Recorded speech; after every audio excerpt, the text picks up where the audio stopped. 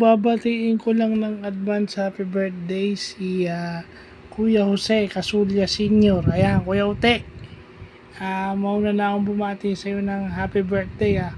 Although alam ko sa June 20 pa yon. O yan.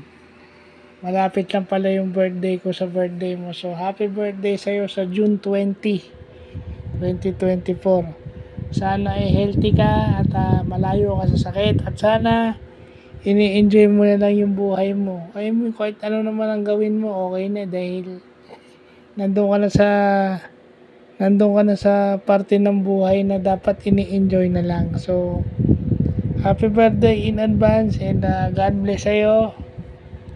Sana hindi ka nagkakasakit. Uh, uh, less, uh, konting problema, hindi naman mawawala sa buhay ang problema eh. Tsaka sana lagi ka nakangiti, lagi kang masaya. No?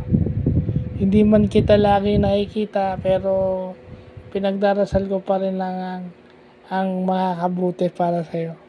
So, happy birthday in advance and uh, God bless.